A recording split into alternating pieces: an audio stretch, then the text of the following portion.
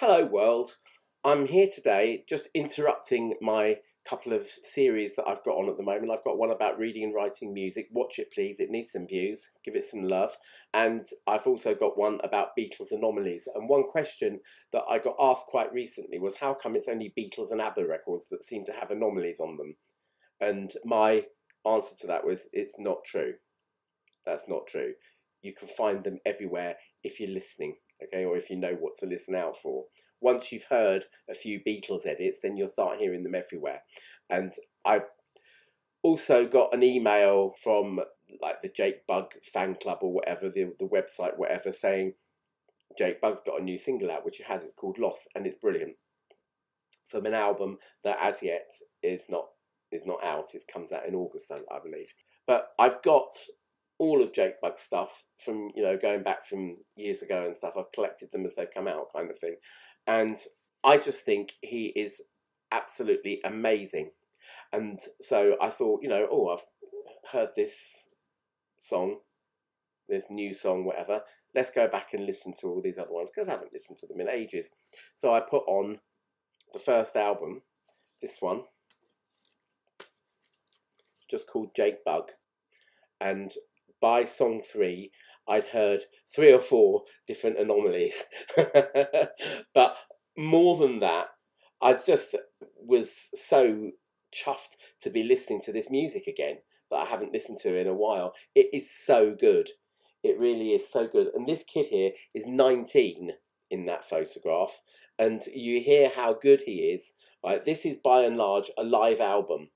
It's been made from a variety of sources, which is probably why the anomalies on here are, are, are, so obvious. Some of them are demo recordings, such as Broken, which you know became a big single. Um, another one was recorded on his iPhone, that was Fire. Another one called Troubled Town was recorded.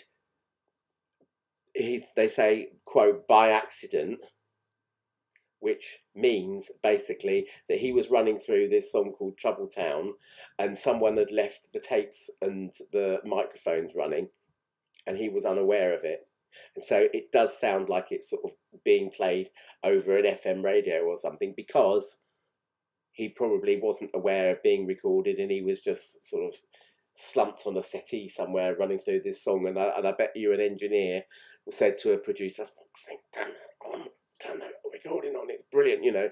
And then some record company bod came into the studio and heard this thing and, and said, Oh, that's a brilliant song, we'll have that. And he said, Well, Jake said, Well, I'll have to record it first. I said, No, you won't. That's it. You know, so they so they worked from him playing off mic, obviously overdubbed onto it and whatever, but that was the basis the basis for that particular song. So yeah, there's there's going to be anomalies galore over this thing. All right, but I want to talk a bit more than just the anomalies here because one of the influences was his uncle when he was age 12 uncle came round and showed him the chords to Mad World by Tears for Fears, which has only got like two chords in them. And you know, Jake Bugg's so modest, so it was an it was an easy one to learn kind of thing. You know, when actually that song is a work of genius, and I believe that even if he wouldn't acknowledge it, I believe that kind of it kind of dripped in of this influence. People say, "Oh, he sounds like Bob Dylan," but actually he doesn't he doesn't sound like Bob Dylan at all. You've got this Tears for Fears song. All around me are familiar faces, worn out places, worn out faces, bright and early for their daily races, going nowhere, going nowhere. And the songs on this album are basically about the kids that he used to go to school with, the kids he used to hang around with in Nottingham, which is a town in the Midlands of England, and it's got its problems. It's got its problems. That's why Trouble Town is Trouble Town because it's about Nottingham. And so the Tears for Fears song is this observation about the depression everywhere, which was like that in 1983 when Mad World was written and was still like that in 2012 when this was written. And so it is social commentary, all right?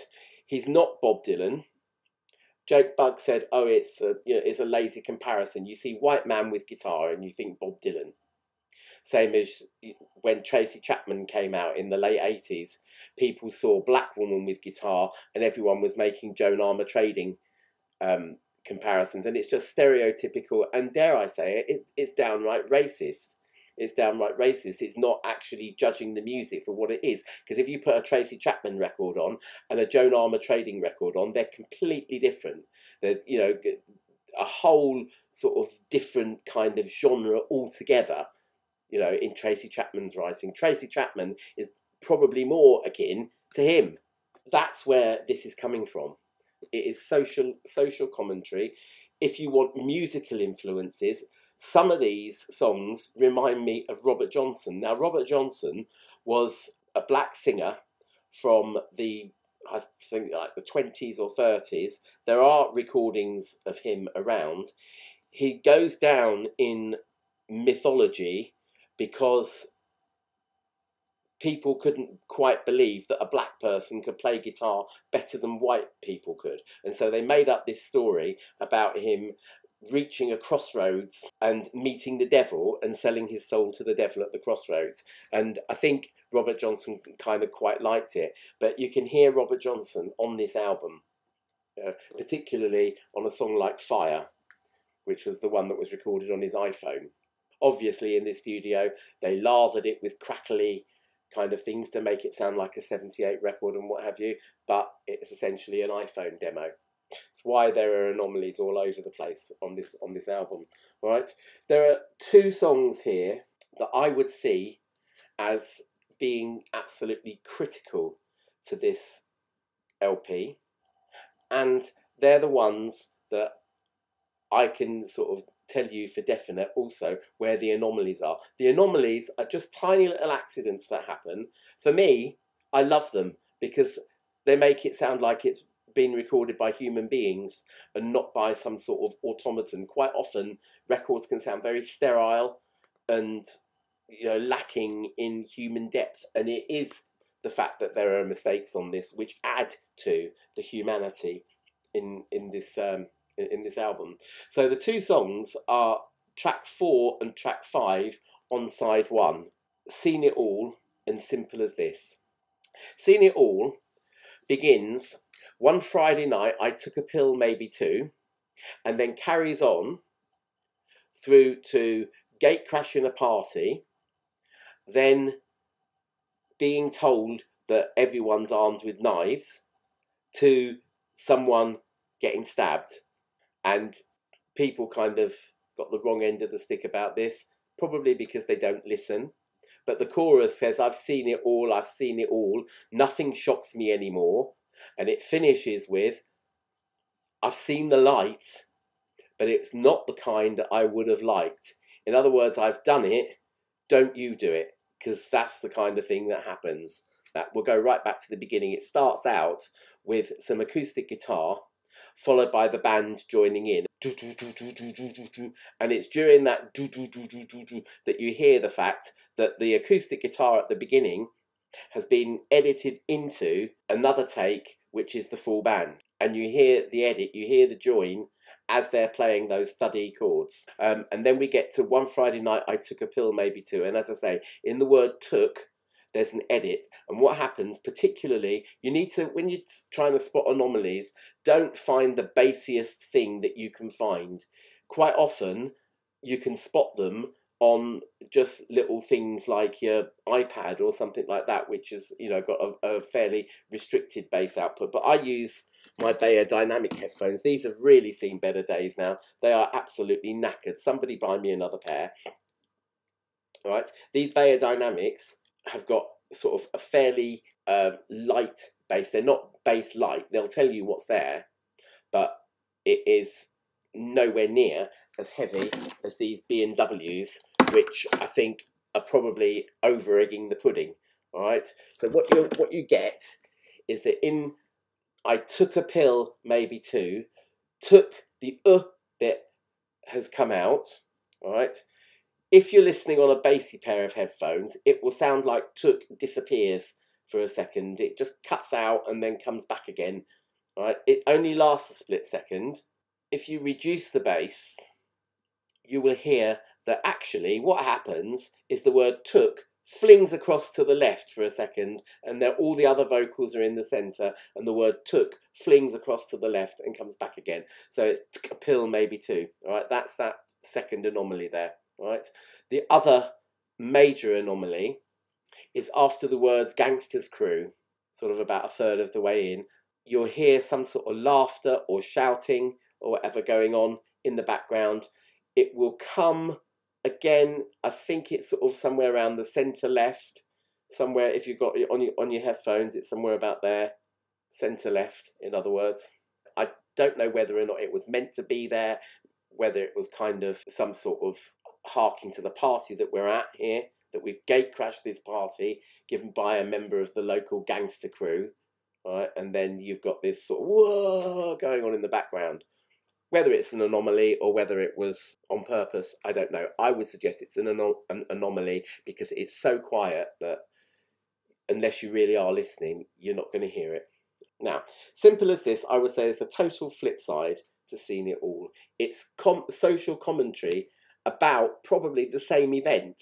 The, li- the lyrics I've been in search of stones, making up the pavements of less travelled roads, mining for treasure deep in my bones that I never found.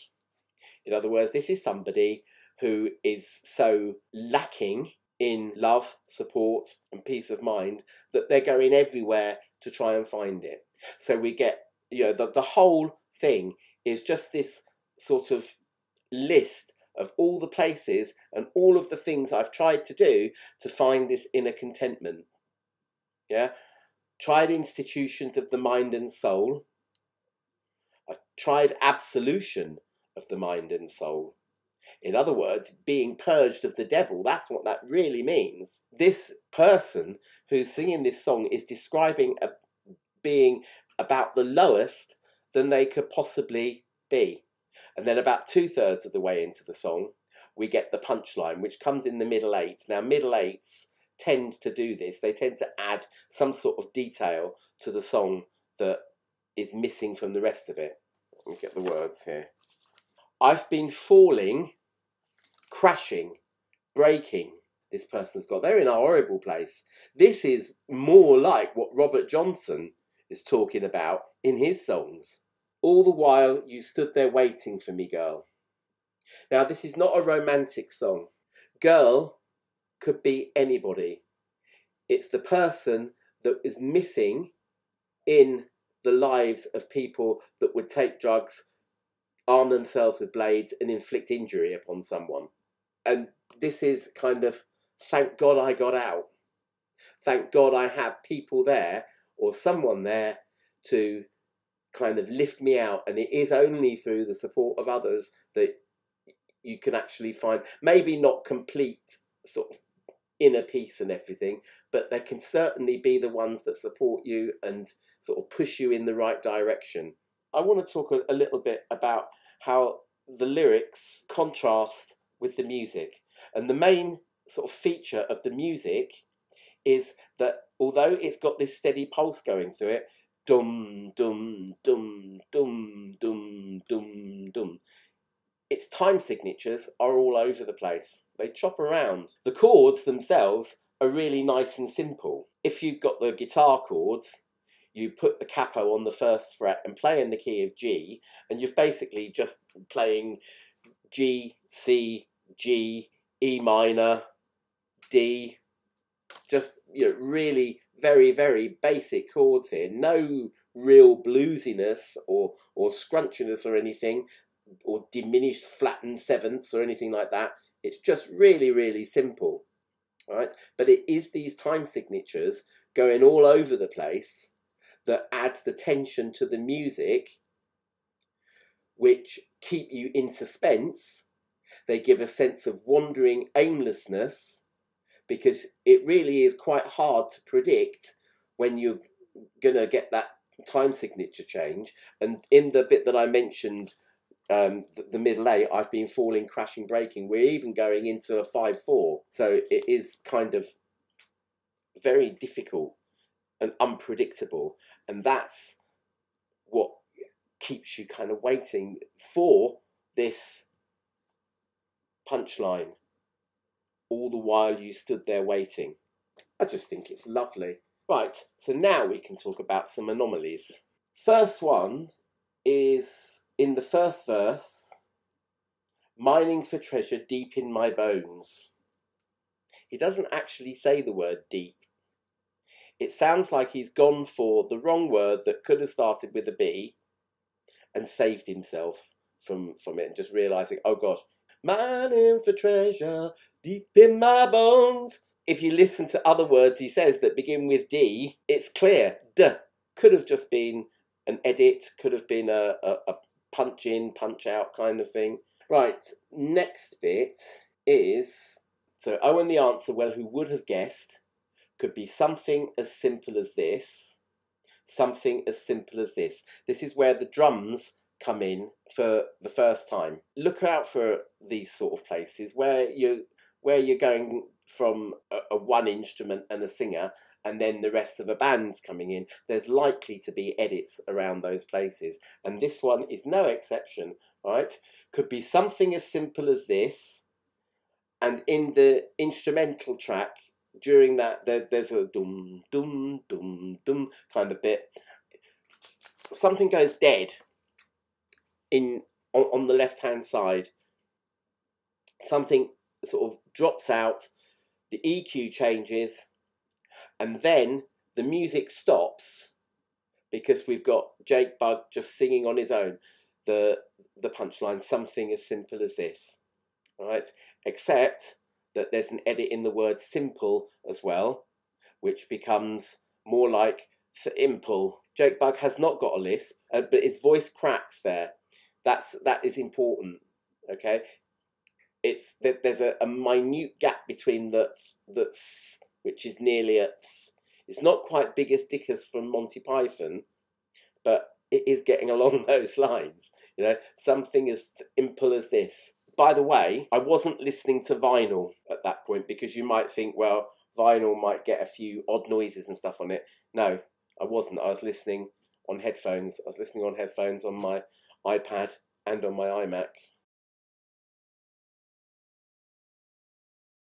Yeah, I, I, I think that's sort of all of the audible anomalies on there. Listen out for those two songs because, as I say, they're key to understanding at least the first two albums of Jake Bugg's um, body of work. He used the term body of work. It's quite fun listening to, or quite weird, listening to some 19, 20 year old person saying, I've just made Shangri La and it's my second body of work and think, hold on, Beethoven wrote a body of work. this one, Shangri La, then, it's pretty much in the same kind of vein. The production on it is much slicker. As I say, this came from a whole load of different sources, demo material, whatever else. This is this is far more coherent, and he was in Miami at uh, yeah. It's it's it's just a much more slick version, as it were, of this. There's some great songs in here. Right? Messed Up Kids, it's fantastic. Uh, Pine Trees, but Simple Pleasures. Simple Pleasures is just brilliant. Jake Bugg's third album, On My One, as you can tell by the cover, represents a complete departure, at least lyrically, and there's some musical sort of influences that are coming in here, which are sort of more contemporary, some rap, for example. But we have got other songs like All That and Love, Hope and Misery and The Love We're Hoping For, which are more in line with his pared back acoustic style, but they lean more towards sort of country. It was recorded in a variety of places, as far away as Topanga Canyon, which I'd imagine is somewhere in the States. I think in spirit, even if he was recording some songs in London, some songs in Nottingham, whatever, because of the nature of his job, he tours all over the place, and so I, I suppose he just gets a few recordings in where where he can, wherever he is. But in his mind, he was in America, and that comes from even though we have the word Nottingham in the first song in the first line. I'm just a poor boy from Nottingham, but he doesn't sing that. He sings, I'm just a poor boy from Nottingham. Now, in England, with, with towns that end in ham, we tend not to pronounce the H. So Clapham, Birmingham. If you live in America, you come from Birmingham, Alabama. You might, anyway. If, you know, Jake Bugg is aping that, it's very subtle. Okay? It's it's kind of, you know, I'm on the road, you know, and I'm far away from home. And then I have to say, with Hearts That Strain, when I read the reviews prior to receiving it in the post, my heart sank. He's surrounded himself by expert musicians in Nashville, Tennessee, and oh my god, I just went to Taylor Swift, I just went to John Mayer. John Mayer, I like John Mayer, but it's not Jake Bugg. It's not Jake Bugg. There's nothing wrong with Taylor Swift either, but they're not Jake Bugg. It's all part of that industry kind of churn it out, churn it out, churn it out. You know, and you'll get sacked if there's so much as one anomaly in there. Thankfully, this album is not as bad as that. Here's the cover. This cover is very strikingly similar to the cover of Hejira by Joni Mitchell. Hejira is about Joni Mitchell taking a long journey across America and sort of writing about what she sees and who she meets and things like that. And this is him going from England right down to Nashville, Tennessee. Right, that's his signature there, by the way. That I, I got an autograph copy because I was one of the first to order it or something. It's although the music on this is totally different to this. It is the ethos. It represents that journey. With him, is halfway across the world. With her, it's from Canada down to America. This album's a good album. It is a bit too much part of the well oiled American showbiz machine kind of thing, but it's lovely. It's lovely. And How Soon the Dawn is one of my favourite Jake Bugg songs, as is Waiting, which is, oh God, Jake Bugg featuring. Oh God, please don't ever. If I write a song that's Mark Pierce featuring someone else, shoot me dead. But you know that's what they do nowadays, isn't it? So and so featuring so and so else, but it's still a nice uh, duet. So this has been a slightly incoherent video, just kind of me talking off the cuff. Really, I've had to do a few bits again and what have you, but yeah, I hope you enjoy it. I hope you're inspired to A, go anomaly spotting in whatever music you're listening to, and B, get, in, get into Jake Bugg a little bit. With that, I'll leave you. All right, bye.